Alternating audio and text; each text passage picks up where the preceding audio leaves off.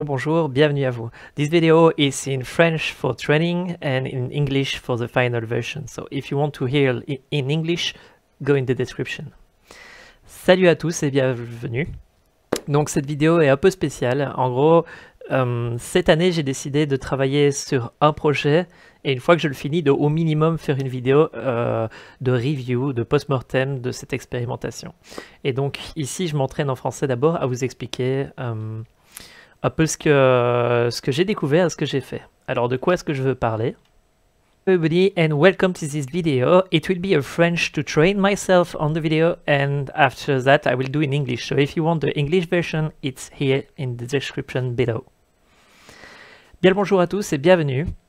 Dans cette vidéo-là, j'aimerais bien un peu vous expliquer euh, le post-mortem d'un de mes projets qui est de tirer des feux d'artifice à travers un petit composant qu'on appelle le HC06. Donc c'est un petit truc comme ça et ça vous permet d'envoyer en fait via le Bluetooth euh, des informations sur votre Arduino et ça c'est vraiment cool. Alors la raison pour laquelle j'ai commencé ce tuto, euh, parce que oui, j'aimerais bien faire un workshop pour, pour la suite.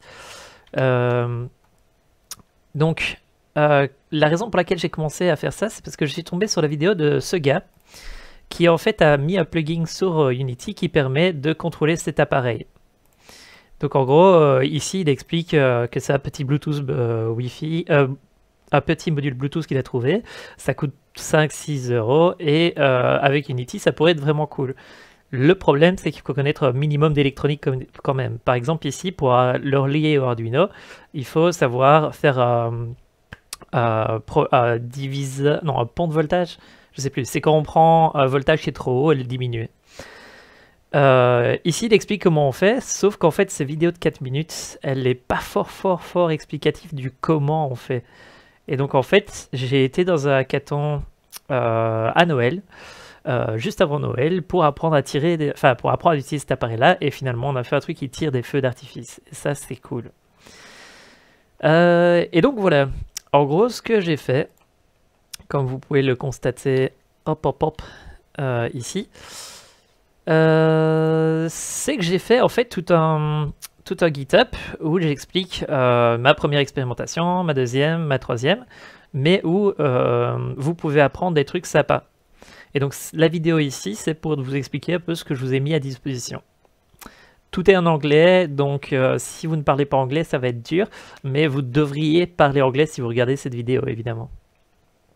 Vu que toutes mes vidéos sont en anglais et que tous mes travaux sont en anglais aussi euh, depuis, peu.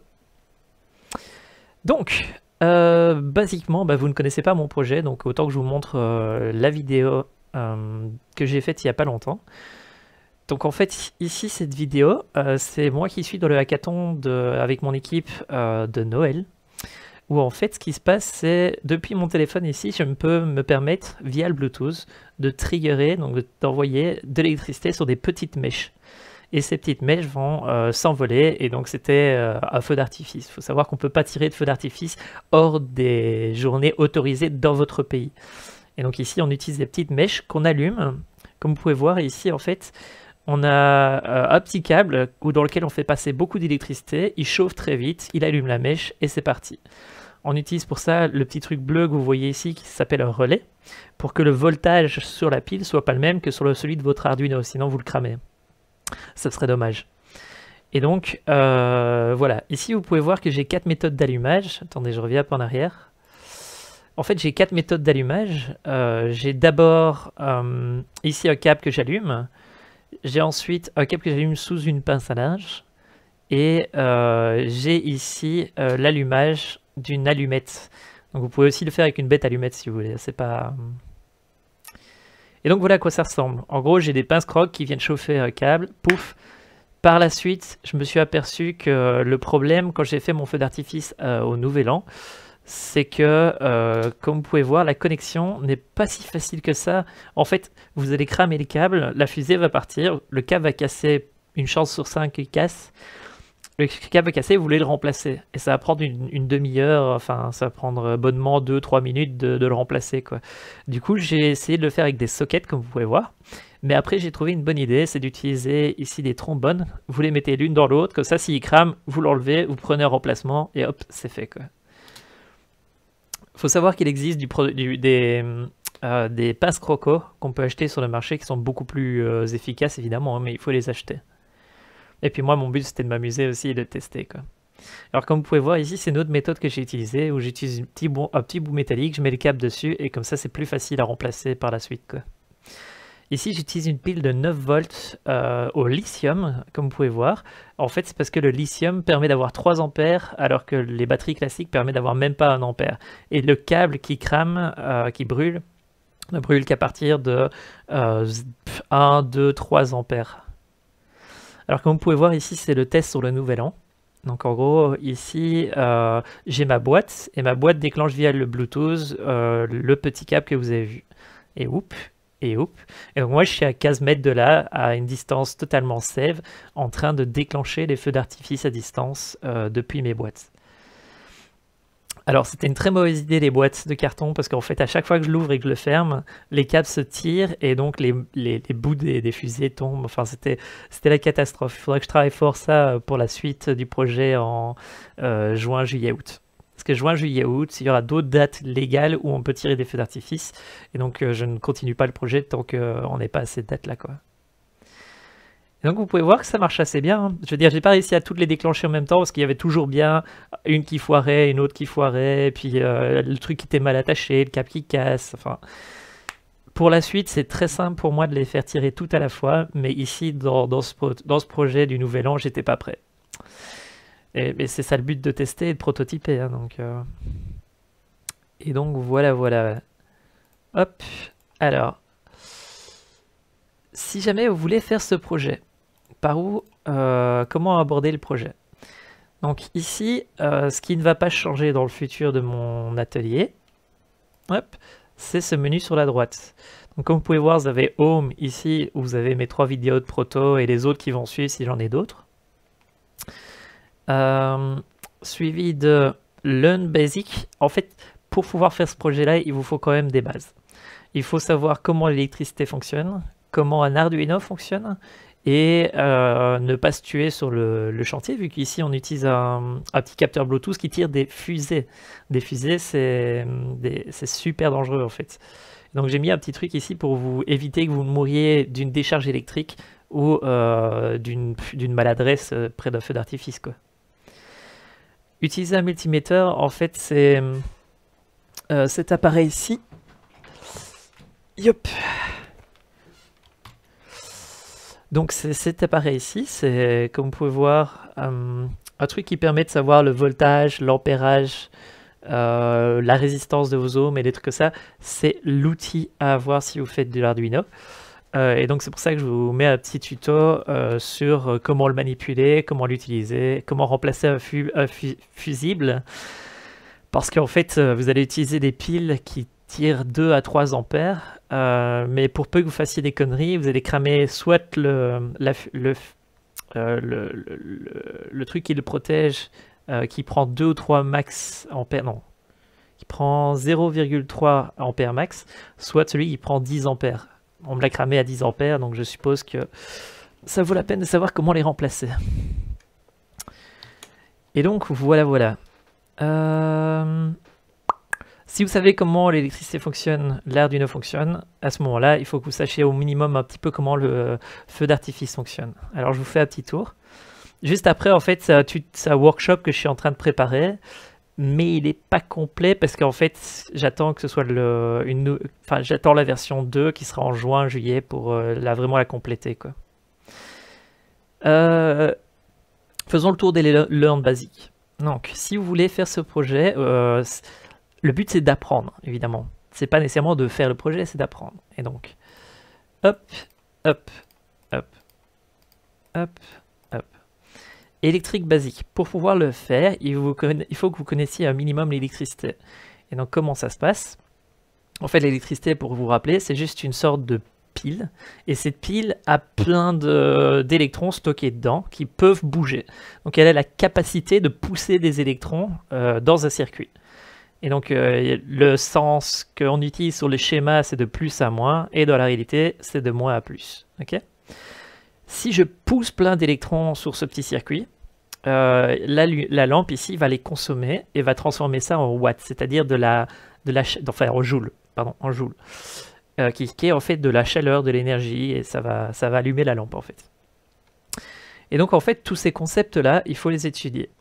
Et donc ici, ce que j'ai fait, c'est je vous ai fait une liste avec euh, chaque fois les trucs à étudier. Donc lampe, c'est le nombre d'électrons qui vont passer dans le câble. Donc c'est un ampère, c'est euh, je sais plus combien, c'est un chiffre avec plein de zéros euh, d'électrons que vous poussez dans un câble. Le voltage, c'est la capacité à les pousser, c'est-à-dire que plus vous avez la capacité à les pousser, plus vous pouvez pousser, dans, le câble. Sachant que le câble, il y a une résistance, enfin. La résistance, c'est juste, imaginez-vous si vous avez un énorme fleuve euh, avec blindé, blindé de courant, ça va détruire tout sur son passage. Par contre, si vous mettez un barrage qui maintient cette eau et qui la transforme en, des petites rivières, bah, il y a moyen que ce, déjà qu'on récupère l'énergie et donc on en fasse quelque chose. Ici, c'est faire tourner des turbines, ce qui représenterait ici la lumière là-bas mais aussi de pouvoir être sûr que derrière les gens vont utiliser cette rivière avec pas autant d'intensité et donc ne pas détruire tout le village. Plus ou moins, c'est comme ça qu'on sert la résistance. Euh, power and watt, c'est juste que vu qu'on va essayer de cramer un câble, il faut que vous sachiez ce que ça veut dire un watt. Et un watt, c'est le fait que quand vous allez passer dans cette résistance qui bloque l'eau, elle va chauffer cette résistance parce que c'est de l'énergie qu'elle doit maintenir. Et donc, en fait, c'est plus compliqué que ça. Pour expliquer un peu, c'est il y a beaucoup de molécules, beaucoup d'atomes pardon, dans votre résistance, et à chaque fois qu'un électron passe, ils font le truc, c'est que vu que vous avez plein, plein, plein d'électrons qui passent, ils bougent tous dans tous les sens, et cette mouvance des atomes fait que ça va chauffer.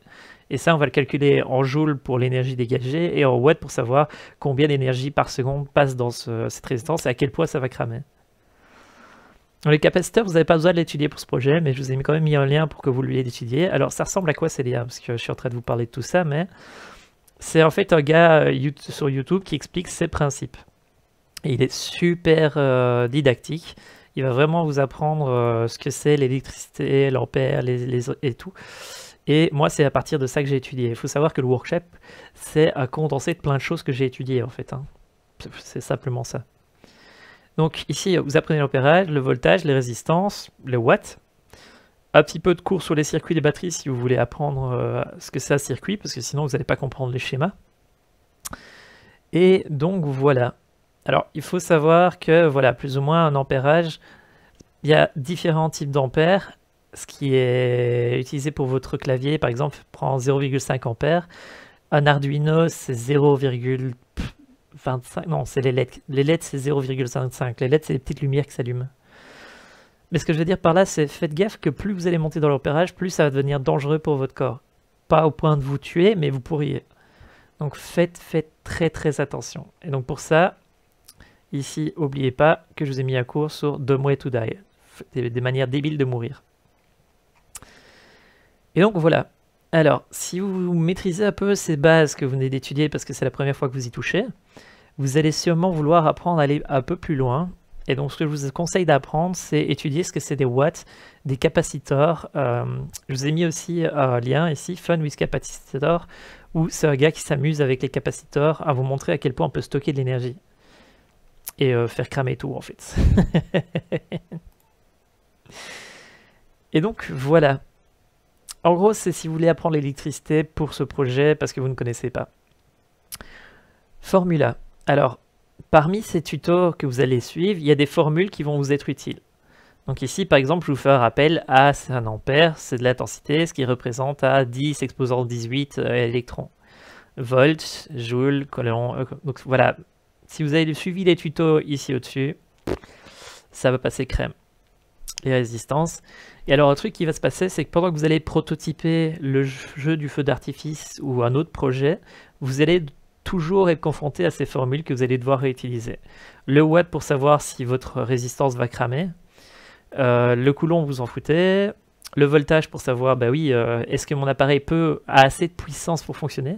Parce que s'il vous faut beaucoup de puissance pour votre appareil pour tourner, il vous faut un grand voltage parce que cette puissance va vous permettre d'amener assez d'ampérage, et donc c'est-à-dire les, électrons sans cramer tout. Enfin, c'est complexe. Lisez regardez les tutos, mais il vous faut un, voltage assez élevé. Par exemple, si je prends qu'une seule pile, Yep. Yep, ouais. Donc si j'utilise euh, une pile, comme ceci, euh, il y aura 1 ampère si c'est une euh, maximum si c'est une pile normale, et de 2 à 3 ampères si vous utilisez cette pile-là. Sauf que de temps en temps, vous voulez avoir, je sais pas moi, vraiment 4 ou 5 ampères. Donc une des techniques sur le web, c'est vous prenez les piles et vous faites ceci. Tac. Et donc ici, vous avez en fait plus 9 volts, mais 18 volts. Et 18 volts, plus vous montez le voltage, plus vous pouvez tirer de l'ampérage. Et donc ici, je vais être capable de tirer assez d'ampères que pour cramer des câbles un peu plus gros, par exemple. Si vous voulez que le câble casse moins, par exemple. Mais bon, ça c'est des trucs que vous apprenez au fur et à mesure. Salut, euh, je sais plus comment. Parce que je, je stream en même temps. Alors, donc voilà, euh, quand vous connaissez ces formules, c'est chouette, il vous faudra quand même euh, comprendre un peu les résistances. Donc les résistances, c'est les petits trucs qui vous permettent d'empêcher que le courant aille trop vite. Et euh, bah, si vous connaissez rien, étudiez le code couleur. Donc ces codes couleurs vont vous permettre de savoir à quel point vous mettez une grosse résistance, donc à quel point vous bloquez fort ou pas fort le courant. faut savoir que si vous utilisez 2 ou 3 ampères, vos résistances vont cramer direct. Donc ici, c'est plus pour pouvoir faire en sorte que si je vous montre un peu ici, ok, de là à, ici, vous avez 5 volts avec quelques ampérages. Par contre, sur ce truc-là, vous allez avoir 2 ou 3 ampères. Donc, c'est-à-dire que les résistances qui sont ici, vous pouvez les acheter ce qu'il y a classiquement sur le marché. Les résistances qui sont ici, vous allez devoir prendre des super grosses parce qu'elles vont toutes cramer à cause de la, puissance qui passe derrière. Mais pour notre projet, c'est pas un problème. Parce qu'en fait, notre projet, notre but, c'est de faire cramer un câble. Donc en gros, on ne doit pas mettre de résistance. On fait juste un circuit et il crame le câble. Donc ça, c'est pas trop, pas trop, trop grave. Et donc, euh, voilà, voilà. Donc ça, c'était pour la partie électrique. Si vous voulez apprendre à, un peu connaître l'électricité. Pour pratiquer, évidemment, le mieux, c'est d'utiliser un peu le Arduino. Le Arduino, c'est quoi?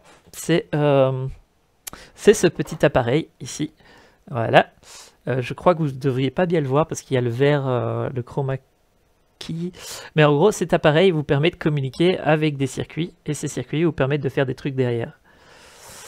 Et donc, c'est super cool, c'est très très facile à utiliser. Niveau programmation, si vous connaissez rien, ok, si vous connaissez rien, vous êtes dans la merde. Mais si vous connaissez un tout petit peu de programmation, ça va être simple à apprendre. donc cette vidéo-là que je vous ai mis, c'est un gars qui vous apprend les basiques de Arduino. Et derrière, je vous ai mis une ou deux vidéos ah, pour comprendre ce que c'est un relais. Donc le relais, c'est ce que je vous expliquais, c'est vous avez 5 volts avec 0,5 ampères ici, et vous avez 18 euh, volts avec 2 ampères. Si jamais les deux communiquent, ils vont, ils vont cramer l'Arduino, tout le, breadboard, les résistances vont péter. Et donc ce qu'on fait, c'est qu'on utilise cet appareil pour vraiment séparer les deux. Et donc on a un circuit qui fonctionne avec peu d'électricité, un qui, fonctionne avec beaucoup d'électricité. Par exemple, c'est utilisé pour allumer des lumières, allumer des spots, allumer des, des composants qui sont sur 220 volts par exemple. Et donc, il euh, faut faire gaffe a quand même un ampérage maximum. Hein. Si vous le dépassez, vous cramez tout. Mais il est quand même bien, bien haut. C'est 10 ampères. Vous n'arriverez pas à 10 ampères. Si vous arrivez à 10 ampères, euh, vous allez tout cramer. 10 ampères, c'est 3 ampères de plus qu'une batterie de moto. Donc, euh, ça va. Alors, ici. Donc, admettons, vous avez étudié l'électronique, vous avez utilisé l'Arduino qui est ici, que je vous conseille vraiment d'étudier.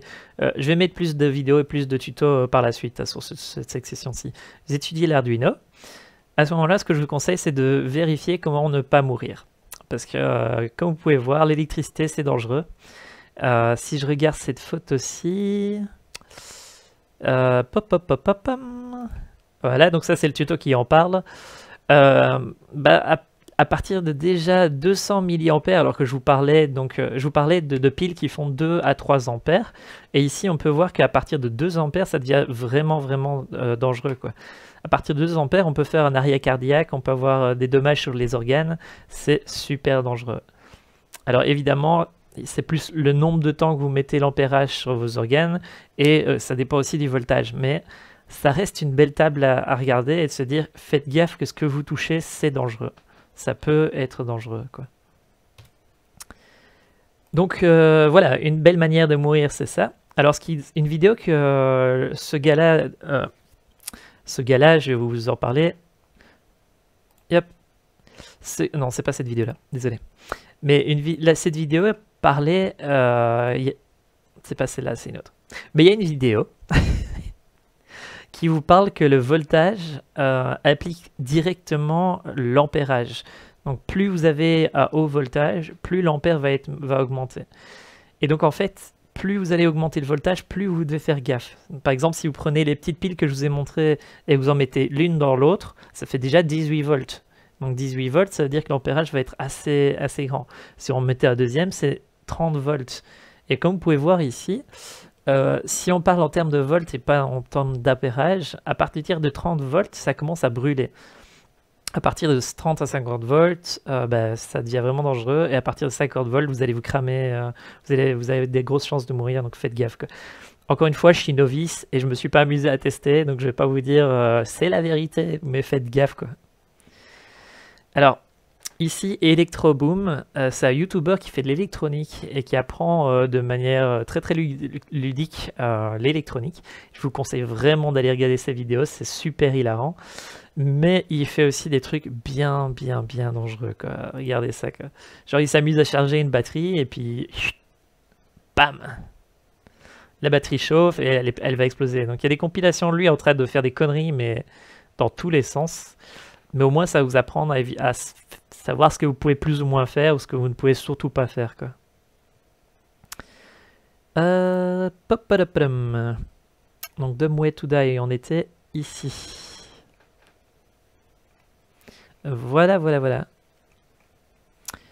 Je me suis éloigné pas mal du sujet, mais euh, je vais revenir, euh, je vais revenir d'ici peu.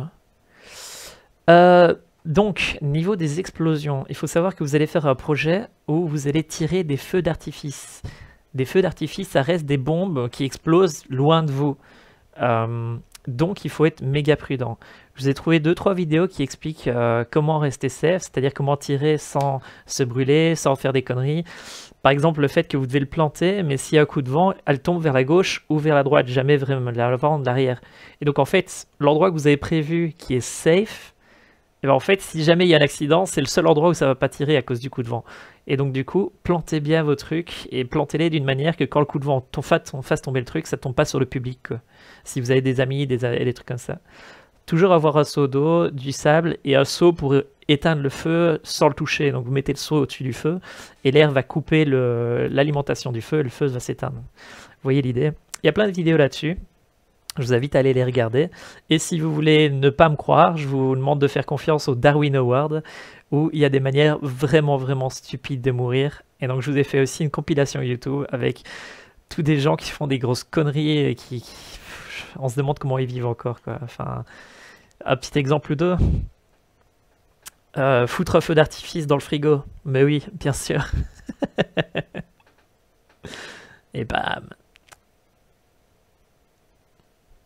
Ouais, c'est puissant en feu d'artifice. Hein. Ne faites jamais ça, évidemment, parce que vous pourriez crever l'œil de quelqu'un. Se foutre le truc dans le cul, bah en fait, je crois qu'il y a plein de vidéos qui montrent que c'est pas une bonne idée. Je suis désolé. C'est crétin. C'est crétin. Mais euh, là, on voit des gens qui survivent. Mais oubliez pas que euh, juste au-dessus, j'ai mis le Darwin Award. Et Darwin Award, c'est des gens qui vérifient que des gens sont morts de manière tellement conne et que c'est une histoire vraie. Par exemple, il y a des gens, ils mettent des feux d'artifice sur leur tête, alors que le feu d'artifice, il pousse vers le bas. Et donc, en fait, votre tête s'arrache. Il y a des gens, ils se mettent devant le feu d'artifice avant qu'il pète. Donc, ça pète dans la figure. Il y en a un autre qui s'amusait à mettre un feu d'artifice dans sa bouche et à jouer à celui qui le lâche le dernier. Bah, ouais, la tête a explosé, je veux dire faites gaffe, c'est dangereux. Quoi. Sur ce, vous connaissez l'électricité, vous connaissez l'Arduino, vous savez que vous pouvez mourir. Comment est-ce que j'ai fait mon projet? Donc, euh, le projet, si on revient à Home, euh, ça ressemble... Ah, j'ai viré l'image. Je l'aurais mis dans Workshop. Euh...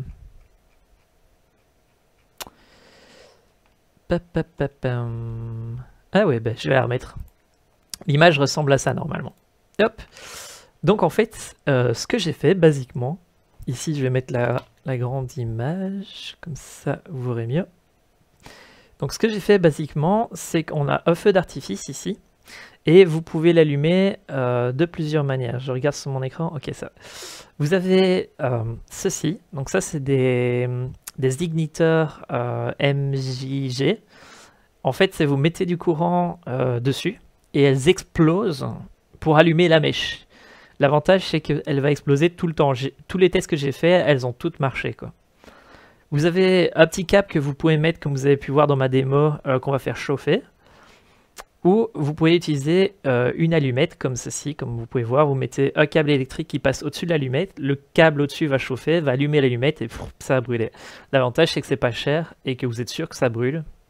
Alors que celui-ci, si le câble, câble casse, il faut le remplacer et tout. Enfin, voilà. J'ai essayé avec un allume-feu de pousser sur le bouton avec un moteur, mais le moteur que j'ai n'est pas assez puissant pour tirer sur le bouton. Il y a d'autres expérimentations que je vais faire plus tard qui euh, seront basées là-dessus pour éviter de gaspiller à chaque fois des allumettes et allumer, éviter que le casse câble à chaque fois. Alors, ceci c'est relié à ce qu'on appelle une breadboard, c'est des trucs où vous mettez des câbles pour prototyper. Et dessus, euh, j'utilise deux batteries. Alors vous pouvez voir que j'ai fait plusieurs schémas et ça ici, c'est parce qu'en fait, vous pouvez mettre deux batteries que vous reliez ici pour l'ensemble du relais. Le problème, c'est que si vous tirez 5 feux d'artifice à la fois, il n'y aura pas assez d'électricité pour euh, brûler les, mèches. Euh, donc moi je préfère quand j'en mets un, par relais. Ça coûte plus cher, mais au moins je suis sûr que mes mèches allument. Et donc en gros, si vous avez 8 relais, vous avez 8 batteries. C'est un peu du gaspillage en soi, mais euh, c'est pas grave. Au moins vous êtes sûr d'allumer votre mèche. Vous pouvez utiliser une batterie de voiture pour l'ensemble des 8 relais, mais si vous faites ça, il faut absolument que vous ayez une résistance. Parce que le problème, c'est une résistance de qualité, je veux dire.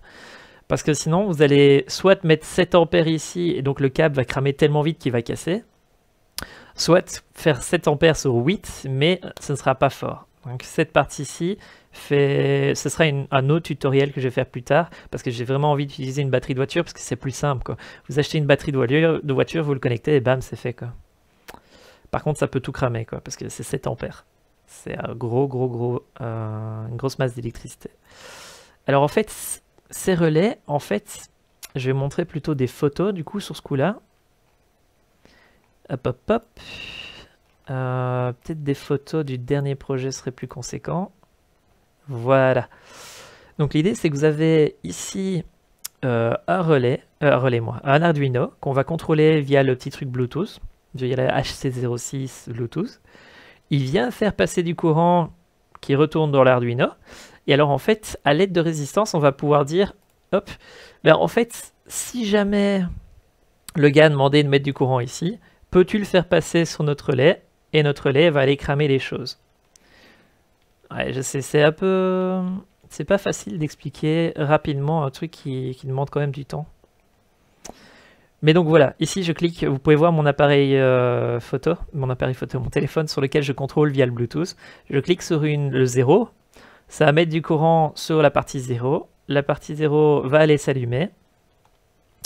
Et euh, j'essaie de trouver une photo plus concrète, mais... Hop, hop, hop... Euh. Bah voilà, par exemple, celle-ci, elle est beaucoup plus concrète.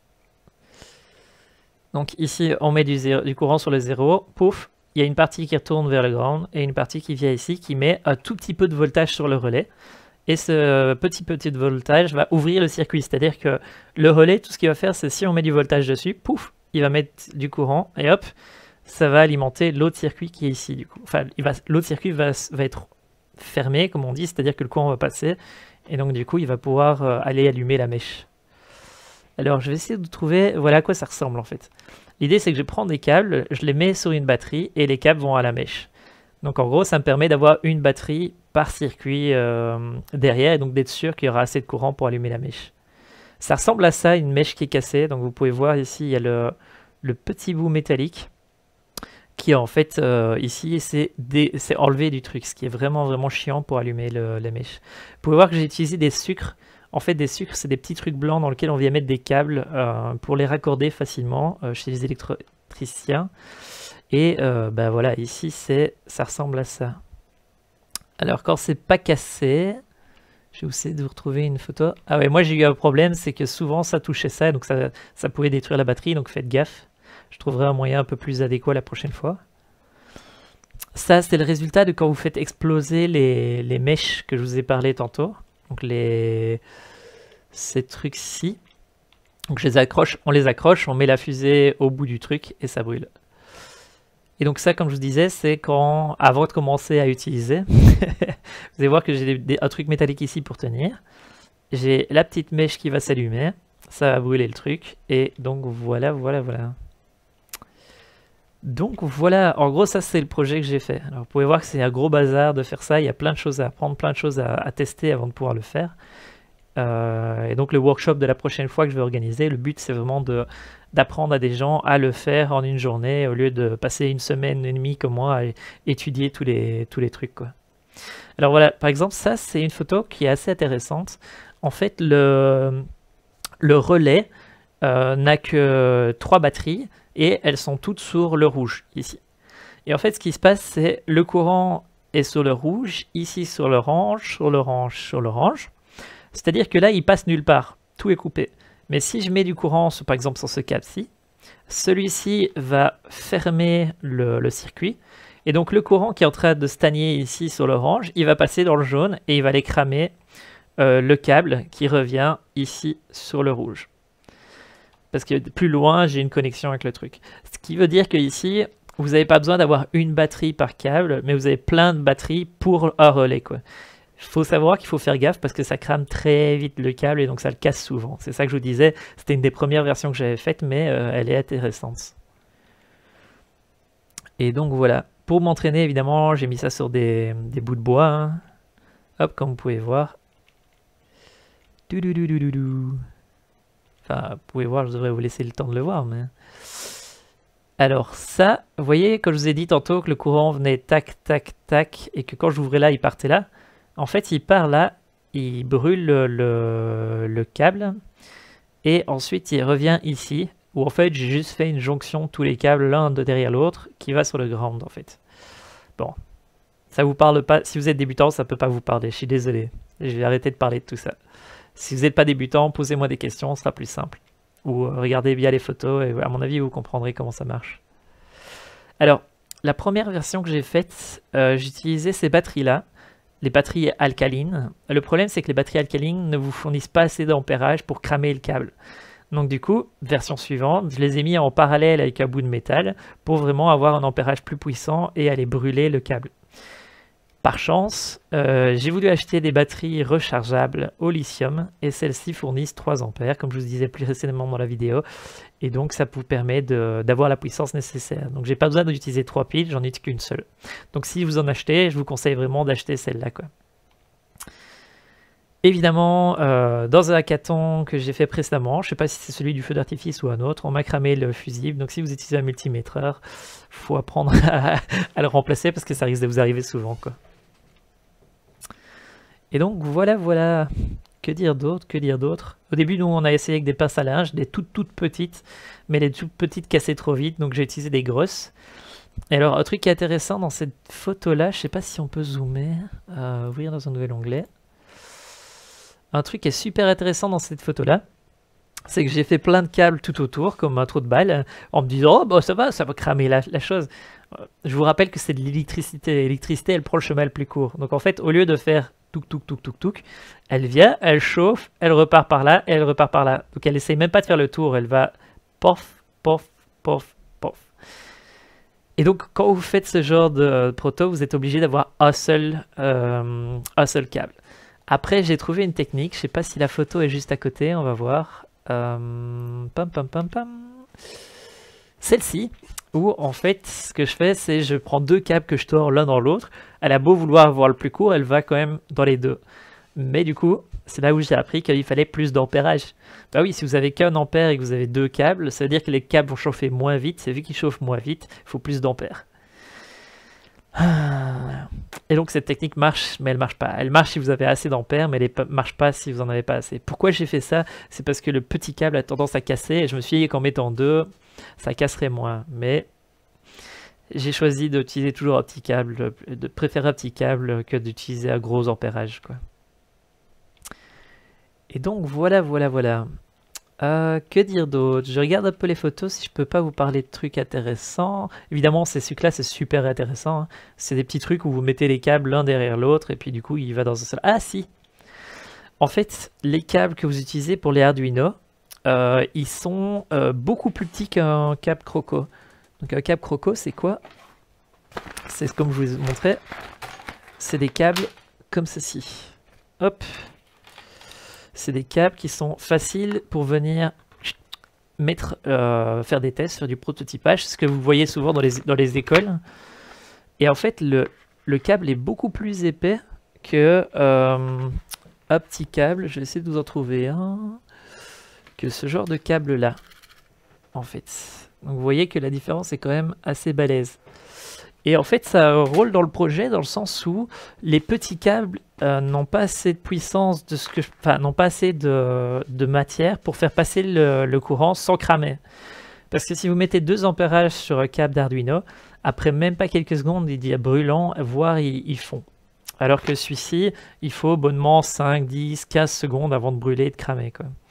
Donc, et vu que nous, on allume et on désactive dès que la mèche est un peu rouge, c'est pas trop grave avec ce- ces câbles-là. Maintenant, si vous laissez activer en permanence une batterie de 2 ampères sur ces câbles-ci, ils vont brûler aussi. hein. Il n'y a pas photo. En tout cas, de ce que j'ai pu tester. hein. Je parle, ici, je parle que sur l'expérience de ce projet et pas nécessairement sur les connaissances que je n'ai pas encore. Quoi. 3 ampères, il faut pas faire pour, comme les alcalines, et la mettre sur la langue. oui, il y a euh, quelqu'un dans le Twitch qui fait un commentaire euh, sur le fait qu'il faut pas mettre euh, ça sur la langue. Et euh, non, non, il faut pas. il y a des vidéos d'un gars qui le fait, mais euh, il sait ce qu'il fait, quoi. Et encore, c'est méga dangereux, quoi.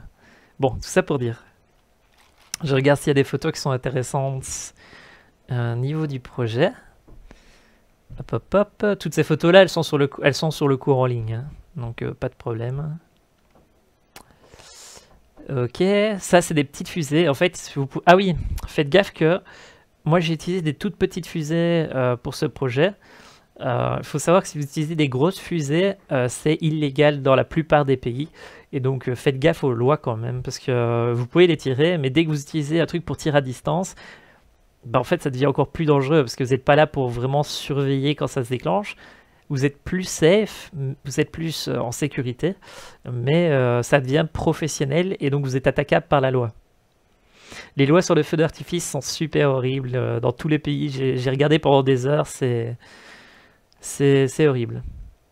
Alors au début j'utilisais des bouts de bois comme ça pour maintenir le sucre et cramer les mèches, sauf qu'en fait les, les, mèches des fusées sont beaucoup trop hautes que pour un petit bout de bois comme ça, donc ça devient vite chiant. Quoi. Je préfère utiliser du, du, co- du collant, du papier collant. Alors là c'était des protos. Ça c'est le truc avec le briquet, donc comme je vous dis j'ai essayé mais pas une bonne idée. Ça, c'est la boîte finale, évidemment, comme je vous montrais avec le truc Bluetooth. Ah bah si, je peux vous montrer ça. Il faut que je trouve une photo adéquate. Par exemple, celle-ci. Ouais. Donc en fait, le gars dans la vidéo que je vous ai montré au tout tout des donc ce gars-là, euh, il nous expliquait, ben voilà, en fait, le truc, il marche. Il est super chouette. Regardez mon plugin sur Unity, il marche super bien. D'ailleurs, je vous conseille de l'acheter. Il est vraiment bien. Sauf qu'il nous dit, voilà, il faut faire un peu d'électronique. D'où le fait que j'ai fait ce cours-ci et que je vous donne cette vidéo-ci. Sauf que le schéma qu'il nous montre ici, il est faux. Il est pas bon. Euh, en fait, si vous faites ceci, euh, quand vous allez faire, déjà, le- la résistance n'est pas assez bonne. Euh, il faut la mettre... Effectivement, il faut voir euh, le double sur l'un que sur l'autre pour faire le pont. Mais s'il y a si peu de résistance, ça risque de cramer trop facilement. Parce que le, le courant passe trop vite. Et le RX et TX du Arduino. Je vais regarder si j'ai pas un Arduino sous la main avant de. J'ai celui-là, mais ils sont tous occupés. Bon, pas grave, je vais vous montrer. En fait, ici, on a. euh, attendez. Hop. Hop. On a un Arduino. Et en fait, ici, on a un petit truc qui s'appelle RX, RX et TX. Hop, hop, hop. Sauf qu'en fait, si vous mettez votre propre câble dessus, euh, vous ne pourrez plus builder sur enfin, vous pourrez plus envoyer le code sur l'appareil, ça va faire créer, créer plein de bugs, c'est vraiment horrible. Et donc en fait, l'idée c'est de demander au Arduino que le RX et TX qu'on va utiliser, c'est ici et là. Les deux premiers que j'ai utilisés ici. Hop. Et en fait, ces deux trucs-là euh, vont communiquer avec cet appareil-là. Et on va aller inverser les trucs et là ça va être... Mais là c'est... Il faut littéralement un tuto pour ce truc-là parce que c'est... C'est un peu chiant. Mais ce que vous pouvez voir ici, c'est que j'ai euh, des câbles et euh, qui vont vers la, vers le, la, venue d'électricité et vers la sortie de l'électricité, des résistances et des trucs comme ça. En fait, c'est parce que euh, l'appareil fonctionne avec une... Il y a une partie qui fonctionne sur du 3 volts et l'Arduino est sur du 5 volts. Et donc c'est ça qu'il essaie de vous expliquer dans la vidéo, mais il y a des vidéos qui expliquent beaucoup mieux ça. Et donc ça, je vous invite à aller le voir euh, sur le cours, euh, dans la partie... vous verrez, euh. J'aurai une partie ici qui sera spécialement pour ça, je crois que c'est Bluetooth Triggering, où j'expliquerai ça plus en détail. Si jamais vous voulez apprendre ça en attendant que j'ai fait ce tuto, vous pouvez aller dans Draft, et en fait Draft c'est juste des notes que je note au fur et à mesure de mon cours. En fait, le cours, c'est je note plein de trucs, je les mets dans des, playlists YouTube et tout, et à la fin, j'essaye de faire quelque chose avec. Et donc ici, par exemple, c'est plein de vidéos YouTube que j'ai recherchées. Mais ici, par exemple, c'est les notes que j'ai fait pendant le hackathon de Noël. Par exemple, ici, c'est un bon schéma qui représente, on a un téléphone, on envoie de l'électricité sur les LED, le HC06 les reçoit, les transmet au Arduino, et l'Arduino allume la LED. Vous voyez l'idée ça, c'est le schéma que le gars vous a montré sur euh, la, toute première vidéo qui m'a tout fait péter. Euh, et euh, plus tard, je vais tomber sur un gars qui faisait un tuto, je crois que c'est celui-ci, Really Good Tuto, qui explique vraiment de A à Z comment utiliser l'HC06. Et vous pouvez voir que son schéma ici, il redirige le courant sur la pin 4 et la pin 6. Et pour pouvoir faire ça, il vous faut utiliser la librairie softwareserial.h de euh, Arduino. Et grâce à ça, vous allez pouvoir ici va dire, en fait, moi ce que je veux, où est-ce que tu es? Moi ce que je veux, c'est que euh, mon serial, c'est l'endroit où on va écrire des lettres et les recevoir, c'est sur la pin 4 et la pin 6. Truc super cool que je vous ai pas expliqué parce qu'on n'est pas encore arrivé là et que j'ai plein de choses que je veux dire, mais en même temps, euh, voilà. Euh, ah oui, c'est vrai, merde. Désolé. Euh, j'étais encore en, grand plan quand, je parlais sur les... C'était depuis quand ça que je vous ai parlé en grand plan? Je vous ai montré comment ça marche. Puis je vous montrais au niveau des tutos. Ah ouais. Donc ce que je vous expliquais, c'est juste qu'ici, dans Draft, euh, c'est des notes sur mes hackathons et sur euh, mes recherches et tout. Donc ici, vous avez des vidéos sur euh, YouTube. Donc c'est des playlists sur les sujets qui sont ici. Et vous avez les drafts, c'est ce que je note pendant que je fais mes recherches. Donc Xmas Nos, c'est pendant mon hackathon sur le, à Noël. Donc hackathon, c'est un concours informatique. HC06, c'est les notes que je prends au fur et à mesure de ce workshop que je suis en train d'organiser.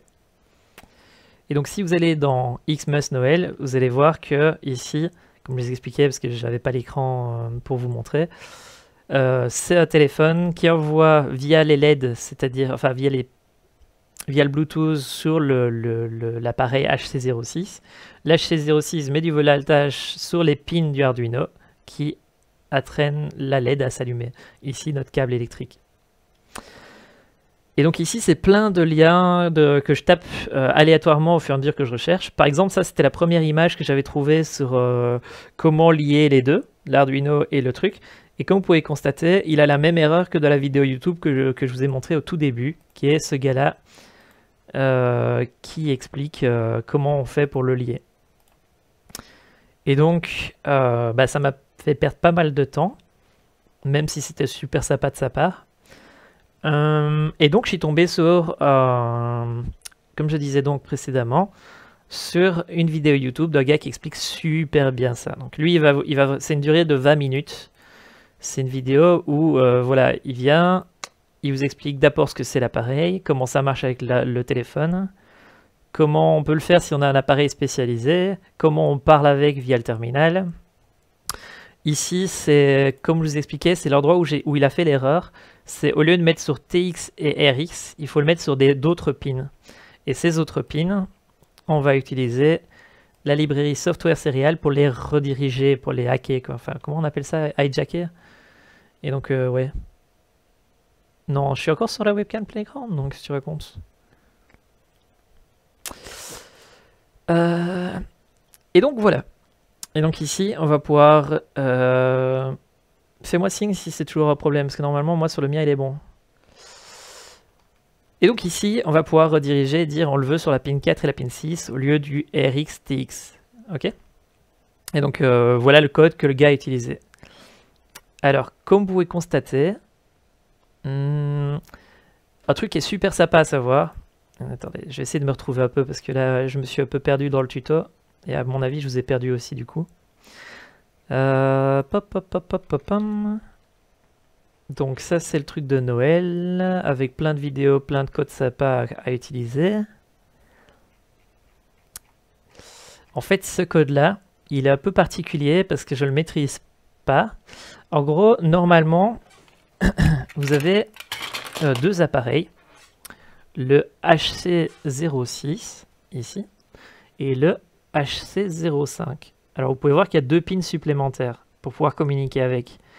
Le truc, c'est que euh, pour pouvoir communiquer avec, euh, vous aimeriez bien pouvoir changer le nom, le mot de passe, la fréquence et des trucs comme ça. Ben, normalement, ce script-là, il est censé vous montrer comment le faire avec du script. Vous pouvez le faire avec du terminal. Le problème, c'est que moi, sur mes petites pins qui sont ici, à mon avis, j'ai acheté un truc chinois. Et du coup, j'arrive pas du tout à modifier le nom, le mot de passe ou quoi que ce soit. C'est chiant, mais c'est la vie.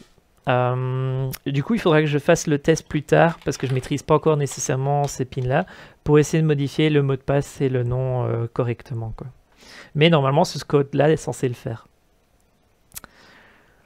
Et donc voilà, voilà, ça c'est les notes de Noël. Et donc je vous invite à faire euh, ce schéma-là plutôt, hein, si vous devez le faire. Aspirez-vous de, mes images si vous voulez. ici, ça ressemble à je suis sûr que j'ai pris des photos, là faut passer. Ça ressemble à soit ça, soit euh, l'autre version que j'ai faite. Euh, J'essaie de la trouver parce qu'elle est plus, euh, plus concrète. Mais non, pas grave, tant pis. La vidéo se fait un peu longue. Hein. Alors. Je vais vous montrer deux trois autres photos. Donc un truc que je vous conseille, c'est d'avoir des gros câbles métalliques comme ça pour pouvoir vraiment conduire l'électricité, mais aussi avoir une rigidité dans le câble. Euh, ce qui vous permet de faire des tests. Niveau de, des allumeurs, qui, tantôt je vous ai montré des trucs qui sont censés exploser. Euh, j'ai fait l'erreur d'avoir fait ça. En fait, avoir le, le, truc qui est lié comme ça fait que l'électricité, elle passe directement euh, dans le croisement au lieu de passer dans l'explosif. Donc faites bien gaffe que ça doit être séparé. Ça, c'est un petit câble que vous pouvez acheter. En fait, vous voyez, il y a des appareils qui vous permettent de couper dans la frigolite. Eh ben, vous devez utiliser ça. Vous prenez des câbles comme ceci, vous mettez un tout petit peu d'ampérage dessus et ils brûlent. Ils font 0,2 mm, hein. c'est vraiment super petit, c'est très très fin, ça casse facilement. Mais euh, quand je le faisais avec mes tests, quand ils étaient bien placés, après 6-7 fusées lancées, ils tenaient toujours. Alors comment est-ce que je fais pour les lier maintenant? Euh, Je mets des bouts de métallique comme ça, et je les visse et je les dévisse, et quand je veux les remplacer parce que ça casse.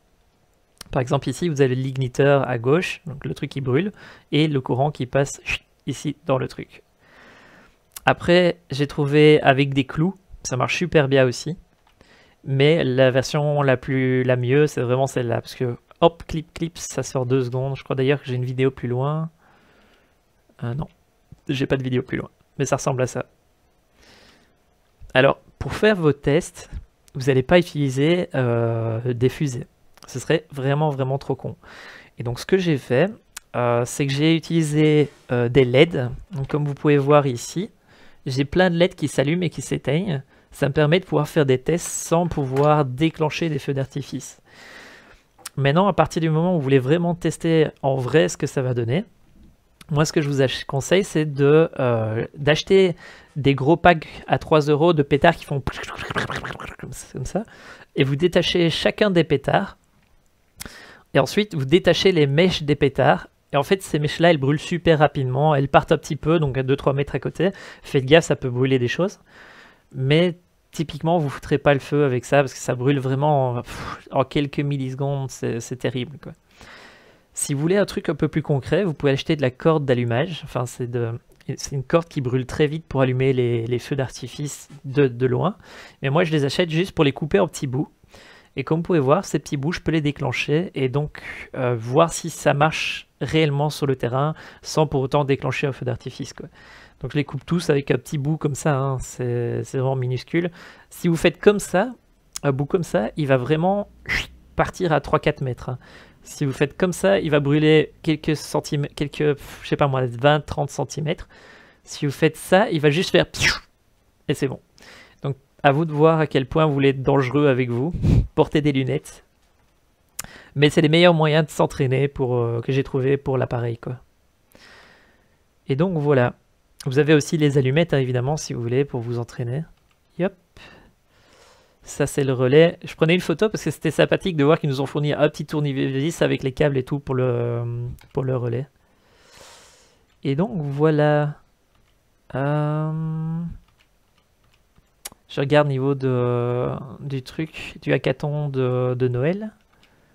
Ça, en fait, c'était une interface. En fait, on a fait un site web à la base. On a carrément fait un site web où le gars pouvait planifier. Ah, ouais. Vous allez me dire, je reprends l'image. Je reprends l'image. Parce qu'il y a un truc qui est cool avec ce projet. Alors, donc on a les fusées. On peut les déclencher. Vous avez compris qu'il fallait utiliser un breadboard pour comprendre comment le déclencher. On utilise le relais pour foutre le courant bien puissant dedans. Le Arduino pour le contrôler. Le truc Bluetooth, l'HC06, nous permet d'envoyer des informations sur ce Arduino depuis l'extérieur. Et en fait, euh, on arrive à cette partie ici qui est comment est-ce qu'on fait pour les envoyer en fait? Et euh, pourquoi est-ce que mon projet est si intéressant? Pourquoi je m'amuse trop avec? C'est parce qu'en fait, euh, votre projet, sur un téléphone, vous pouvez mettre plein de clés, plein de clés HC06. Vous pouvez en mettre 3, 4, 5, 6, tant qu'elles sont dans les 20, 20 mètres, 30 mètres de l'appareil. Euh, mais si vous voulez faire un feu d'artifice de village, où vous, vous tirez des feux d'artifice, votre voisin tire des feux d'artifice, et votre copine aussi euh, tire des feux d'artifice de l'autre côté, tous en étant séparés avec les trucs de protection, bah en fait, vous pourriez parce qu'en fait, ce qui se passe, c'est que dans mon projet, euh, vous poussez sur des boutons sur votre téléphone et ça déclenche les triggers Bluetooth qui déclenchent les feux d'artifice. Ce qui veut dire que vous pouvez le faire soit en touchant le téléphone, soit en poussant sur des touches clavier, soit en utilisant comme moi un appareil que vous mettez autour des mains qui s'appelle un Tap With Us. Yep, comme ceci. Hop hop, je vous laisse deux secondes. Vous utilisez ce truc autour des mains, vous faites tac tac, boum, il y a une fusée 1 qui décolle. Tac tac, boum, fusée 2 qui décolle. Ça fait que vous avez 40-50 euh, mètres de portée pour tirer des fusées. C'est super intéressant. Mais il y a aussi le temps. Et donc en fait, ce qui se passe, c'est que mon application va chercher le fichier qui permet de savoir quelle fusée déclencher en ligne via la Wi-Fi ou la 4G. Et donc si vous le modifiez en ligne, tous les téléphones vont se mettre à jour. Et donc si vous dites tirer les feux d'artifice à minuit pile, et ben en fait, il va vraiment tirer tous les feux d'artifice à minuit pile chez chacun de vos voisins. Et ça, c'est trop cool. Donc en fait, l'idée, c'est que je stocke ça sous un fichier JSON. Ce fichier JSON, je le mets à jour toutes les minutes pour qu'il s'actualise. Ce qui c'est même pas quelques mégaoctets par, euh, minute, hein, du coup. Vous n'allez pas tuer votre forfait 4G. Euh, et ben voilà, vous pouvez contrer la distance avec le temps ou manuellement quand vous vous amusez. Faites gaffe que si vous le faites automatiquement avec le temps, soyez prudent de ne pas vous tirer dessus. Dans le sens, si à minuit ça tire, vous mettez pas à minuit devant les fusées. Ce serait tellement débile. De way to die, quoi. Et donc voilà, en gros, ça ressemble plus ou moins à mon projet. Ça ressemble à ça. Alors, le petit interface qui est là-bas, je sais pas si on peut zoomer, non. En fait, le truc, c'est Ici, vous avez des boutons pour euh, contrôler le tir, pour dire bah, sur cet appareil-là, je veux déclencher le numéro 5 qui va déclencher le courant ici et puis il va l'allumer. Mais vous avez aussi des patterns, c'est-à-dire que dans le fichier JSON ici, vous pouvez dire j'aimerais bien que tu actives celui-ci, celui-ci, celui-ci, celui-ci et celui-ci en même temps. Ou avec un petit décalage de quelques secondes. Et donc en gros, quand ici, ce téléphone-ci va arriver sur ce pattern-là, bam, il va le lancer. Et ça, c'est trop cool. C'était vraiment trop cool. Parce qu'en gros, vous pouvez dire, tire celui-ci, attends quelques secondes, tire celui-ci, attends quelques secondes, va chez le voisin, tire les quatre qui sont là-bas. C'est trop chouette. Et donc voilà, euh, contrôle roulette pour le zoom. Oui, mais en fait, je suis déjà en mode zoom, euh, c'est pour ça que je peux pas zoomer plus. Euh. Je crois que c'est Jonathan, je sais plus. pam, pam, pam, pam. Et donc voilà, faites gaffe que dans les feux d'artifice, ceux-ci sont interdits dans la plupart des pays. Ceux-ci, vous en trouverez partout à 3 euros. Ceux-ci aussi, vous en trouverez partout à 3 euros. Et ceux-là, vous en trouverez partout dans les magasins de vente. Mais sachez que dans beaucoup de pays, c'est interdit. Euh, dès que le truc devient un petit peu gros, ça devient, ça devient interdit, mais on les vend quand même. Et puis il y a quand même des règles, comme quoi tu peux l'acheter trois jours avant. Ah oui, les stockez pas. Vous pouvez acheter les feux d'artifice trois jours avant les fêtes. En tout cas, euh, pour cela, j'en suis sûr. Mais vous ne pouvez pas les stocker. Si vous les stockez euh, après les fêtes, vous êtes hors la loi. Parce que c'est super dangereux, ça pourrait allumer votre maison comme rien, quoi. Et donc, euh, Ah oui, merde, voilà. Désolé. Salut, Jeanne. Euh, et donc voilà. Alors, qu'est-ce que je peux dire d'autre sur... Euh, est-ce que j'ai tout couvert? Oui. Non. Donc, nous disons donc... Euh, home, c'est les protos. Ici, vous avez plein d'infos sur comment utiliser les, feux d'artifice et tout. Ah oui, d'ailleurs, il y a une section feux d'artifice que je ne vous ai pas montré où là, c'est juste, je vous montre l'intérieur de feu d'artifice. Donc, ce gars-là va vous expliquer ce que c'est un feu d'artifice. Cela va vous montrer comment on fait pour envoyer des gros gros feux d'artifice. Ne le faites pas à la maison. Teardown, c'est il va prendre plein de feux d'artifice différents et il va les couper en petits morceaux. Et il va vous montrer ce qu'il y a à l'intérieur de ces petits feux d'artifice que je vous ai montrés. Big One, je crois que tout est dans le mot. Hein. Donc si je vous montre euh, l'image.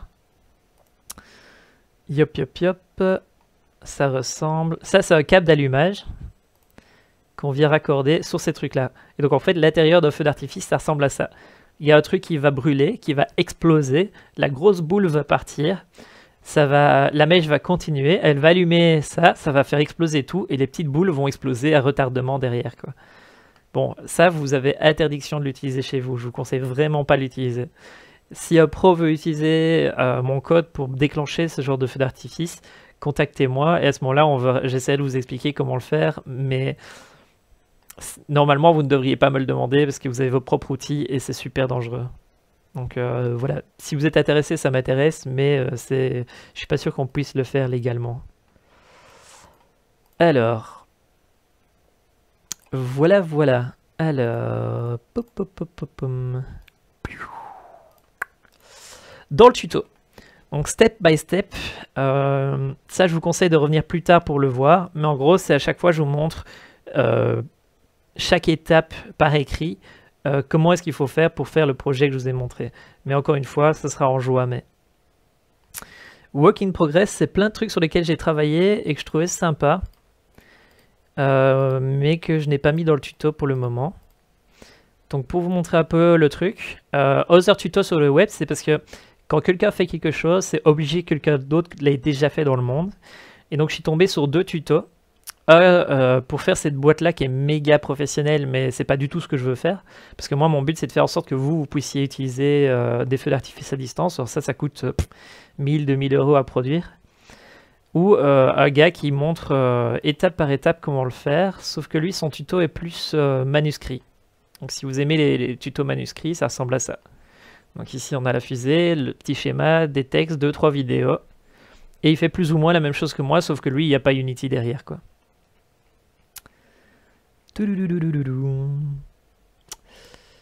et donc voilà.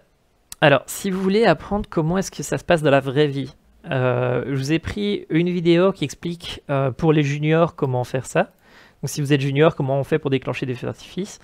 Une plus médiocre de comment cet appareil fonctionne et de comment est-ce que tu, vous pouvez voir qu'il y a une clé, il y a tout un système euh, qui permet d'envoyer à distance en étant protégé et tout. Là-dedans, il y a des batteries et tout qui sont bien à l'abri, qui déclenchent des trucs qui explosent, qui brûlent et tout. Et les seniors, bah ça, vous n'y arriverez jamais, mais ça, c'est le niveau euh, senior. Quoi. Ils ont des trucs de fous bien préparés qui font tout péter. Mais c'est intéressant de voir comment eux font derrière pour, euh, pour déclencher les feux d'artifice et avoir un petit peu de rétrospective. Voilà, voilà. Donc voilà, par exemple, ça c'est la vidéo du junior qui montre comment est-ce que lui il fait pour déclencher un feu d'artifice. Voyez, il y a euh, un petit appareil, il connecte les câbles, il pousse sur des boutons pour dire c'est bon, maintenant je suis prêt. Parce qu'il y a toujours bien, en fait, ce que j'ai pas mis sur mon proto et que vous devriez avoir dans votre proto, c'est un bouton qui permet de dire je ne déclenche pas les fusées tant que je suis pas prêt.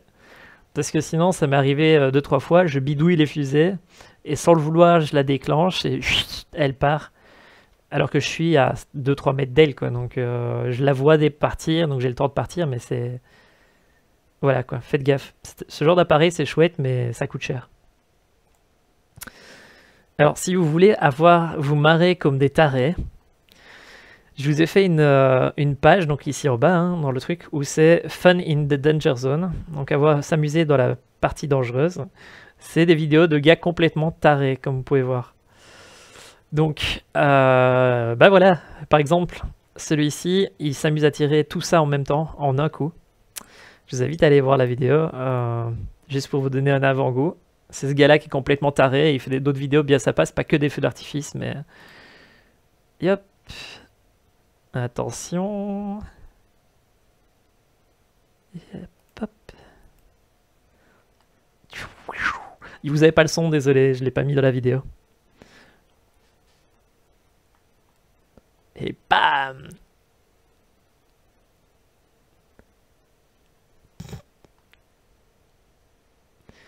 ce mec est complètement taré.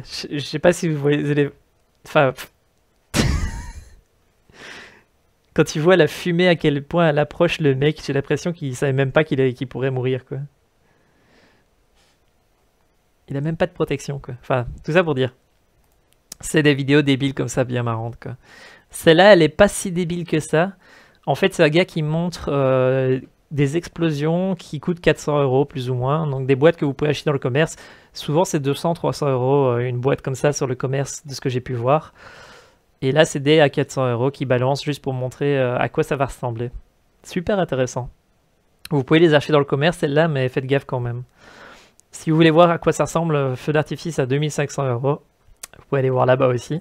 Ou des vraiment, vraiment, vraiment super grosses Ici, le top 10 des plus grosses explosions des feux d'artifice, c'est assez marrant à aller voir. Et donc voilà. Ouais, bah ouais, tu m'étonnes qu'il est trop proche. Donc,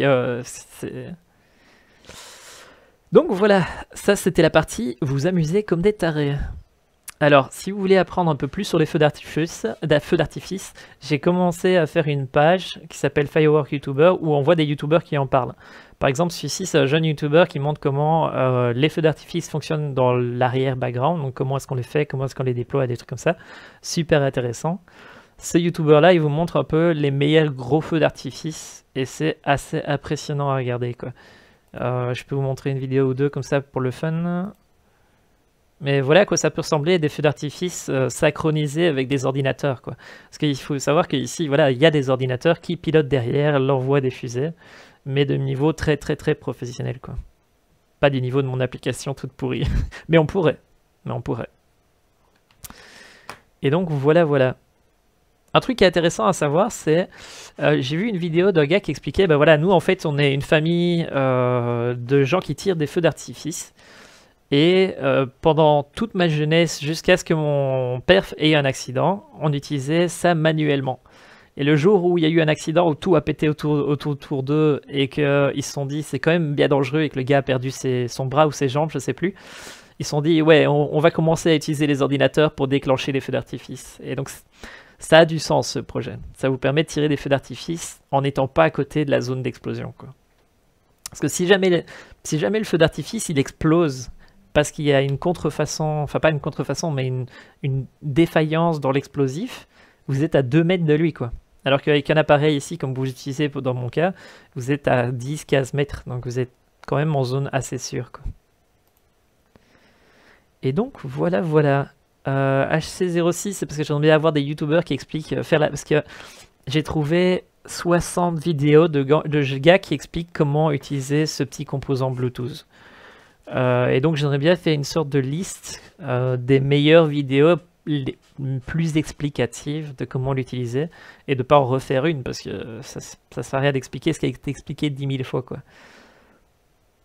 Et euh, il y a une section que j'aimerais bien faire plus tard qui explique comment on utilise une batterie de, de mobilette pour déclencher des feux d'artifice. Et donc voilà, voilà. Il y a donc plein d'infos sur comment, euh, ce que c'est, comment les utiliser, comment les recharger. J'ai trouvé pas grand chose en fait. Il n'y a pas beaucoup de gens qui utilisent des batteries de, de, de, mobilette finalement. Peut-être parce que c'est méga dangereux. Je ne sais pas. Et donc voilà, je crois qu'on a fait plus ou moins le tour. Donc euh, si vous voulez apprendre à tirer des feux d'artifice euh, via le Bluetooth, via Unity, N'hésitez pas à venir me voir et en parler. Il y a plein de choses que bien vous dont j'aimerais bien vous parler, vous expliquer, mais cette vidéo déjà, est déjà super longue de ce que je peux voir dans la version française. Et euh, j'ai même pas tout dit parce qu'il y a plein de parties sur les applications Android qui permettent de tester le Bluetooth. Comment est-ce qu'on fait passer d'Unity à le truc? Bah, limite, je ferais quand même bien ça au minimum. Un minimum, euh, c'est Unity. Donc en fait, Unity, l'application que j'ai faite ici, comme vous pouvez voir. En fait, c'est une série de boutons. Et quand on clique sur ces boutons, pop, pop, pop, euh, pour les gens qui connaissent Unity, ça ira pas assez en profondeur à mon avis, mais... Donc ici, on a un bouton, boum, on clique dessus, et on demande à un script, script microcontrôleur, pof, ici il vient et il dit, bah, si jamais tu cliques sur le bouton, attendez, j'essaie de, de, me retrouver un peu parce que ça fait déjà longtemps que j'ai plus touché, recorder plateforme. Bon, je vais aller directement à l'essentiel, qui est HC Mono. Donc en fait, on a un script qui s'appelle Firewall HC Mono. Et ce script ici, euh, je vais mettre en plein écran. Ok. Ce script ici, en fait, il vous permet de facilement déclencher depuis Unity euh, les feux d'artifice. Par exemple, ici, Activate All c'est simplement firewall HT06 activate all pin. Ça veut dire prends tous les, tous les trucs qui sont connectés et euh, ben, envoie du courant sur ces pins là. Et donc ça ressemble à ceci. Alors qu'est-ce qu'il a besoin de savoir? Il a besoin de savoir est-ce que je mets du courant ou est-ce que j'en mets pas? Et de la MAC adresse. En fait, ce qui se passe, c'est que vous pouvez vous connecter à cet appareil-là de deux manières différentes. Soit vous lui donnez le nom de l'appareil et son code PIN, alors, ça marcherait si tu pouvais renommer les appareils, mais comme je vous ai expliqué au début de la vidéo, j'arrive pas à le renommer pour le moment, sûrement parce que c'est une version chinoise, ou un vieux truc tout pourri, je sais pas. Euh, ou vous pouvez les contacter via la MAC adresse. Alors la MAC adresse, c'est quoi? C'est un numéro qui correspond à cet appareil et qui est unique à cet appareil. Et donc en fait, quand je dis connecte-toi à ça, c'est pile poil celui-là. Et alors un truc qui est super terrifiant, c'est de savoir que quand je me connecte via la MAC adresse, j'ai pas besoin de pairer l'appareil à mon téléphone, donc ça se connecte direct. Et euh, j'ai pas besoin de mot de passe. Alors je sais pas si c'est parce que quand par défaut 1, 2, 3, 4, c'est, euh, il, se connecte dessus, ou si quand je vais changer le mot de passe. Je sais pas, faut que je teste. Mais actuellement, il y a une énorme faille de sécurité avec cet appareil. Il faut que je vérifie qu'on puisse le changer parce que ça va pas aller quoi c'est chouette, hein. moi je peux l'utiliser dans plein de trucs, mais euh, ça veut dire que n'importe qui connaît la, qui connaît pourrait déclencher mes feux d'artifice. Si quelqu'un veut me tuer ou faire un, mauvais coup, ce serait pas sympa. Surtout que je tire des feux d'artifice ici, mais plus tard ça va être ouvre ma porte, ça va être euh, donne de l'eau à la plante, allume le café. Ce serait con que quelqu'un euh, ouvre ma porte, ma porte de sécurité. Donc voilà, en gros, on lui donne la MAC adresse et ici, on lui donne euh, un ID. Alors cet ID, ça correspond à quoi? C'est de 0 à 9 que j'ai mis ici. Et alors de 0 à 9, ça correspond à... Je regarde si on y est. Ah oui, quand je lui dis vas-y allume-moi ça, je demande au plugin que j'ai acheté sur Unity de créer un truc qui va s'auto-connecter à cette MAC adresse. Donc ça c'est un plugin qui coûte 14 euros. Donc quand je vous parlais quand je vous parlais de ce gars-là qui parle de ce composant, c'est parce que ce gars-là a fait un plugin sur Unity. Et je ne le vois pas ici, donc je vais les chercher directement. Asset Store. Pour ceux qui ne savent pas ce que c'est un plugin, c'est euh, du code qui est mis dans un dossier qu'on vend sur un magasin et euh, bah, vous tapez de l'argent et bam, vous l'avez. Alors au lieu de perdre 5 jours à faire un truc, vous perdez 15 euros et vous savez le faire direct. Et donc ici, si on charge Bluetooth microcontrôleur, hop, attendez, Bluetooth microcontrôleur, vous allez tomber sur ce petit truc euh, qui coûte 17,87€, euh, mais qui va vous faire gagner un temps de dingue pour, vous connecter à l'appareil Bluetooth via ce petit composant. Et donc si vous l'achetez, eh ben, vous allez pouvoir faire le code que je vous ai montré ici dans ce projet, c'est-à-dire créer un script qui possède le moyen de se connecter à l'appareil Bluetooth. On va y aller. Ici, je lui donne la MAC adresse. Pof, donc je lui dis Ceci est la MAC adresse. Je crée une classe qui va se charger de savoir communiquer avec l'appareil Bluetooth. Cette classe, on va lui demander est-ce que l'utilisateur utilise bien le Bluetooth? Parce que sinon il ne saura pas communiquer. Sinon, peux-tu lui demander euh, de lancer le Bluetooth? Donc on peut lancer une fenêtre sur le téléphone de la personne disant vas-y, connecte-toi Bluetooth, sinon ça marche pas. Et on lui dit bah, quand il sera connecté, on va pouvoir gérer l'appareil. Et ici, quand je lui dis Monty, est-ce que tu peux mettre du voltage sur tel euh, câble électrique? Ben, en gros, ce qu'on va faire, c'est on va lui dire prends le numéro 0 parce que j'ai mis des pins de 0 à 9 et tu vas faire un A pour dire beaucoup de voltage sur le pin 0 et un A minuscule pour peu de voltage sur le pin 0. Ce qui veut dire que si vous prenez un clavier, que vous le connectez au Arduino et que vous tapez 0, euh, majuscule A, il va déclencher du voltage sur le A. C'est aussi basique que ça. C'est pour ça que il y a une partie que je vous explique pas où euh, c'est le terminal et comment communiquer avec l'HC06 qu'il faudrait que je vous, montre mais qui va prendre plein plein de temps. Et en fait, c'est juste par des touches clavier en fait. On envoie des touches clavier via le terminal sur le Arduino. C'est aussi con que ça. Et derrière, quand on va recevoir ce truc-là, on va pouvoir le déclencher. À quoi ça ressemble le script? Euh, Je vais voir si je l'ai sous la main. Normalement, je l'ai sous la main. Méga... Federation. Christmas. Accu Christmas. Hop, hop, hop. Et ça ressemble à ceci. Donc ça, c'est la partie sur le Arduino. Donc pour vous rappeler, je vais essayer de... Euh, est-ce qu'on peut zoomer? Voilà. Je retourne juste dans l'image pour vous montrer. Donc en gros, vous vous souvenez que ça, on maîtrise déjà. Ce qu'on maîtrise pas, c'est cette partie-ci. Donc en fait, depuis Unity, j'utilise le code que je vous ai montré ici, où je dis, bah vas-y, sur cet appareil-ci, avec la MAC adresse que je t'ai donnée, déclenche-moi la touche A ou A majuscule, si jamais le gars demande 0, 1, 2, 3, 4, 5, 6, 7, 8, 9. Ok? Ça, c'est depuis Unity, donc l'appareil qui est ici. On l'envoie à lui. Et alors, celui-ci, il va le réceptionner l'envoyer dans les microcontrôleurs. Et si la touche c'est A, il va déclencher celui-ci. Si j'ai la touche c'est H, il va déclencher celui-ci. Et donc comment est-ce qu'on fait ça? C'est ce code-ci. Donc comme je disais, on a besoin d'importer cette librairie. Je vous invite à aller sur le tuto de Arduino pour le comprendre comment ça marche. en gros, on apporte du code, on dit vas-y ce code-là j'en ai besoin. On lui dit bah en fait pour réceptionner les touches clavier et les envoyer, moi je veux que ce soit sur la pin 2 et 3. Dans l'exemple de l'autre gars que je vous ai passé, c'était 3 et 6, 4 et 6, mais ça a peu d'importance. Moi, je préfère 2 et 3 parce qu'après, je peux utiliser le reste euh, de manière euh, comme un tableau. Quoi. Et en gros, on va lui dire, ben voilà, sur la pin 3 euh, jusqu'à 13, on veut qu'il y ait du courant qui sorte pour pouvoir déclencher des trucs. On aimerait bien que ça se fasse sur, sur tel port série. Enfin, on aimerait bien écouter tel port série pour les trucs des touches.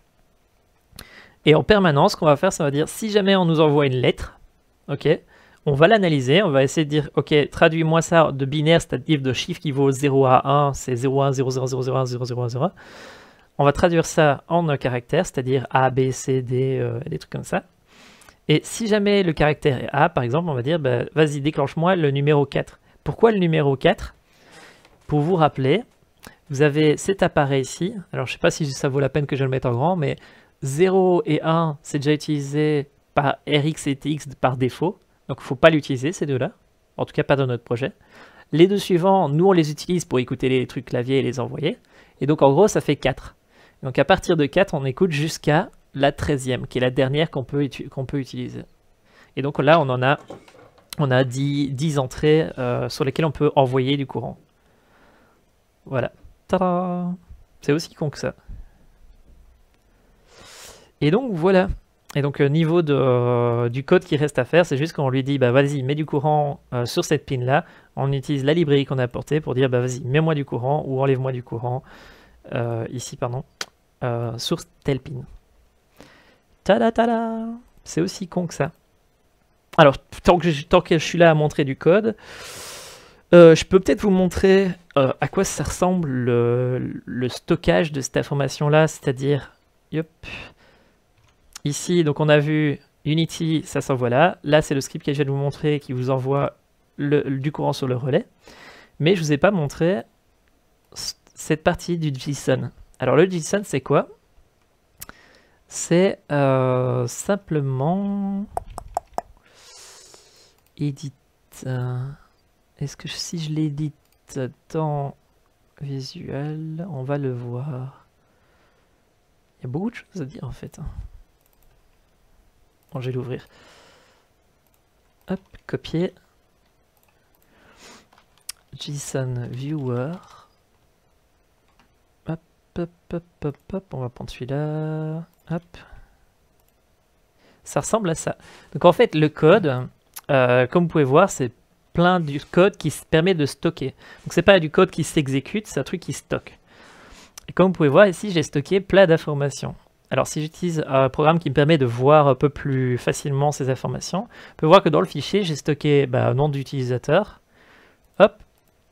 J'ai stocké un pseudo avec sa MAC adresse. Vous vous souvenez, le truc qui permet de contacter cet appareil-là précisément. Donc c'est celui-ci, par exemple, ça vaut 98DE3 71 F9 7B 444. Voilà, c'est un truc qui permet de dire c'est celui-là que je veux contacter. Et donc derrière, j'ai ce que j'appelle des triggerable actions. C'est en gros, je lui dis, si jamais je demande, euh, je pousse sur le bouton qui correspond à euh, déclenche-moi les grosses requêtes sur le côté, ben, ça représente à dire, hop, sur telle MAC adresse, active-moi tel pin, donc tel numéro de truc à enfin tel feu d'artifice, et après autant de temps. Donc ici, par exemple, ça a déclenché les deux du bord.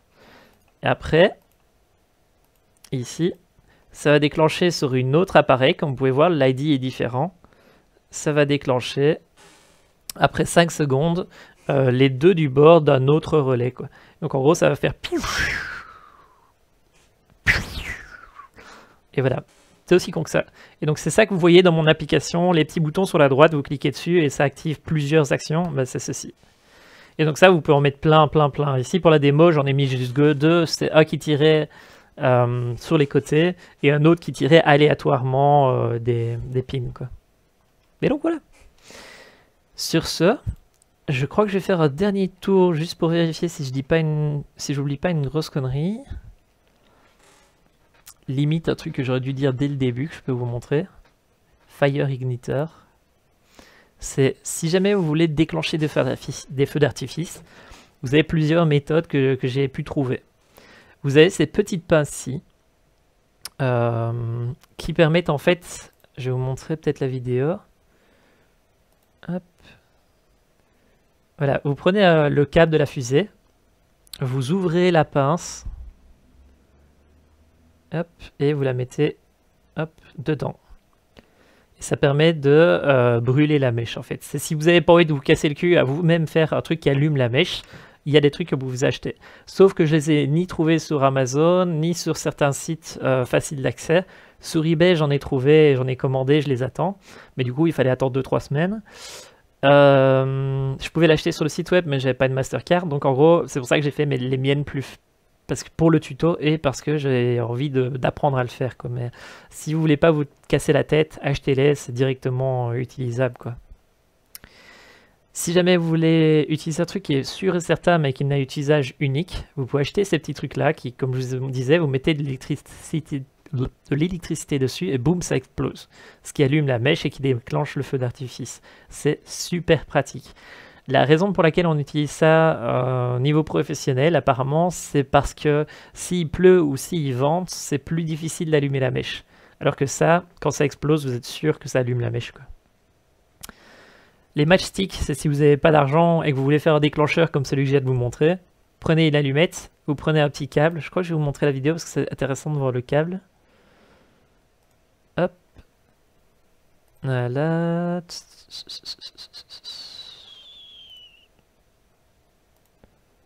Alors, le truc qui est intéressant en fait avec ce truc-ci,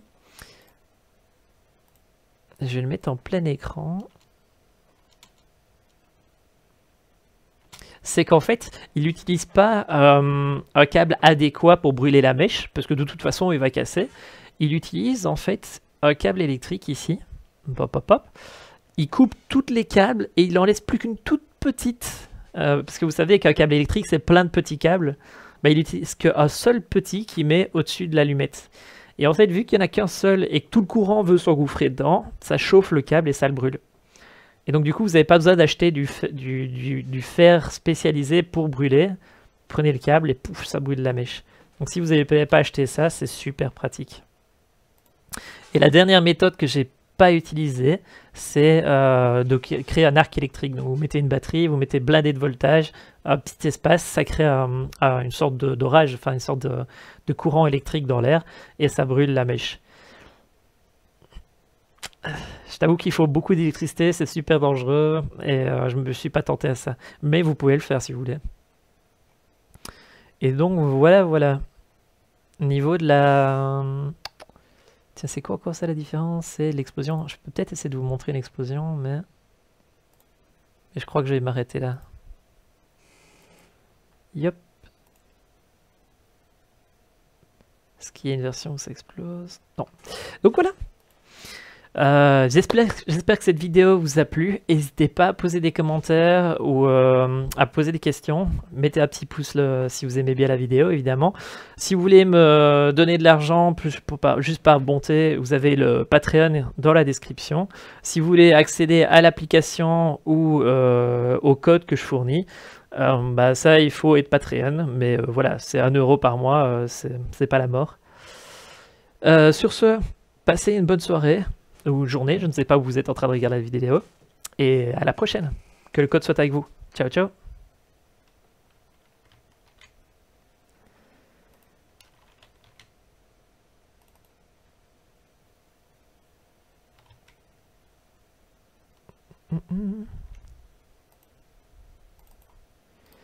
Je ne sais pas comment arrêter l'appareil. La touche ne répond pas.